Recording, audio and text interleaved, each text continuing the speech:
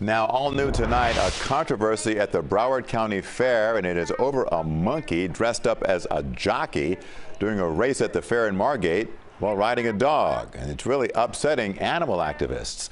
CBS4's Joel Waldman joins us live from the fair in Margate. And Joel, you just saw a race occur there? Jim. I did. I've had the good fortune of seeing a lot of things in my 52 years, but I've never seen two monkeys on the backs of two dogs dressed as jockeys, riding them like they're horses. We have videotape to prove that I just saw that. And the people here, uh, animal rights activists at the Broward County Fair, say that the fair is unfair and would like to see an end to all this.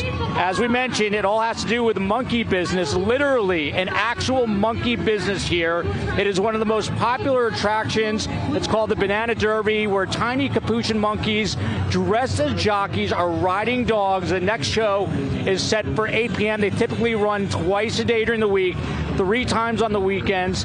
Animal rights activists, as I said, say it is cruel and unusual punishment for these precious little primates. They say they should be living in either the wild or a sanctuary, running around and finding food in trees, not strapped onto dogs Susan Hargraves, an animal rights advocate for four decades, says the cruelty is all about the almighty dollar.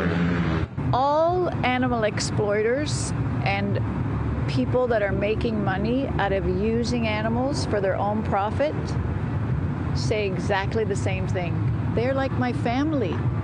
I love them. I haven't met really anybody out there that hasn't enjoyed the show.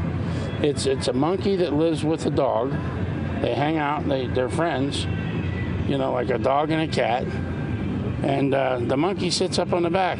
I hear that that they're uh, racing for money in there. I mean, come on. Now, that gentleman's name is Harlan Bast. He is the organizer of the Broward County Fair, and he says very openly he is all about making money.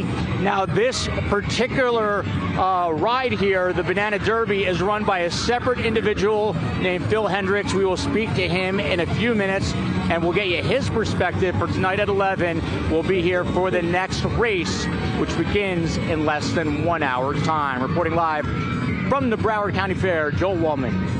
CBS 4 News.